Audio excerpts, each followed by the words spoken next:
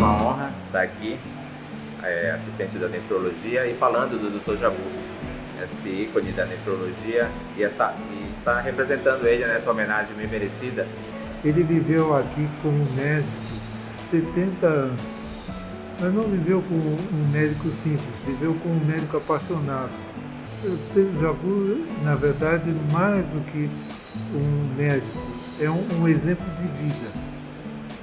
Vamos dizer assim, que se há um elixir da longevidade, para Pedro Jabu foi a Santa Casa e foi a medicina.